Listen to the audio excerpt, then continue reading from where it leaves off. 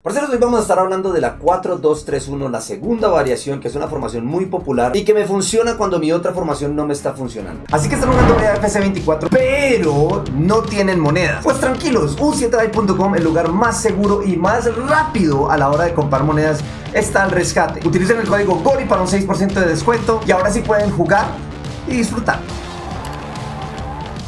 Listo, yo por lo general estoy jugando con la 4-4-1-1, la segunda variación, eh, pero también cambio a mi 4-2-3-1, la segunda variación.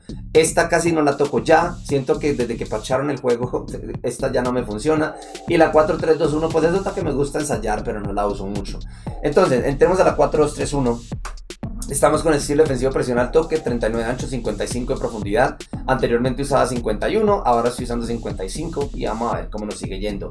Armado de juego, esta formación la uso cuando siento que el juego está muy pegado, ¿verdad? Entonces yo salgo con pase largo y también salgo con subidas eh, a la hora de crear.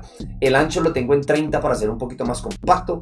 Futbolistas, futbolistas en área lo tengo en 6 y estas dos son opcionales. Yo tengo 3 y 2. Eh, vamos a ver pronto sacar un tutorial de tiros de esquina que me está funcionando mucho.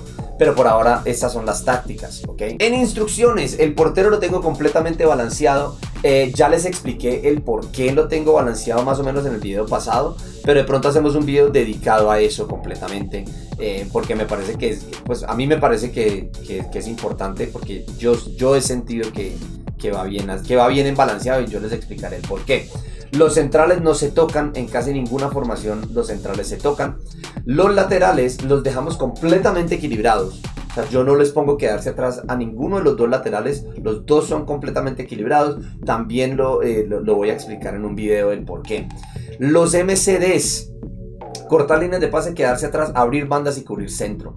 Ahora, cubrir centro lo hacen defensivamente, abrir bandas es cuando van al ataque, que ya lo he explicado en varios videos, este, este juego es más por bandas, entonces necesitamos que el MCD acompañe. Uno casi nunca va a salir tocando entre ellos dos, casi siempre uno sale jugando es por acá, ¿ok? Entonces uno necesita que este acompañe ese ataque, ¿ok?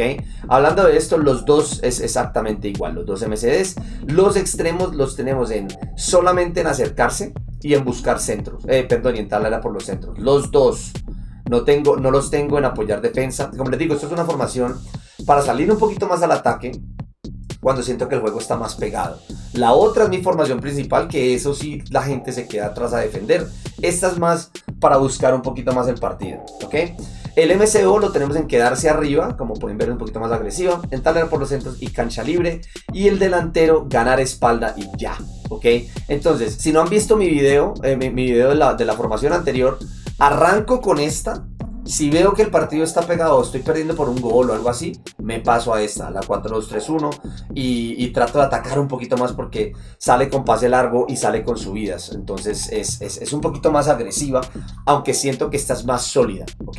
Esto es simplemente para darle una dinámica nueva al juego, aunque la formación es muy parecida. Parceros, antes de irse, ya saben, YouTube siempre recomienda un video para que se vean, y aparentemente ese es el video que les están recomendando a ustedes, así que vayan a ver ese video, denle like allá también. Muchas gracias por ver este se les quiere, se les ama. Nos vemos en la próxima. Chao pescado.